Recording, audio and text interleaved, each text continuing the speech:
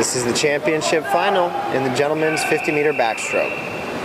From right to left, top to bottom, John Arians in one, Cole Cragen in two, Nicholas Denisiaco in three, Pontus Renholm in four, Tommy Sacco in five, De Silva in lane number six, Hill Taylor with those tremendous underwaters in seven. He's gonna just go for the underwater here, take the DQ.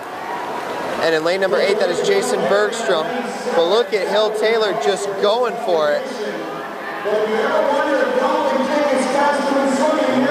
Wow, Hill Taylor touching in 23 1 0. Holy jeez.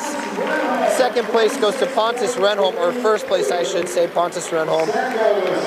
Second goes to Tommy Sacco, 27-2-6. But again, Hill Taylor, 23-1-0. Wow.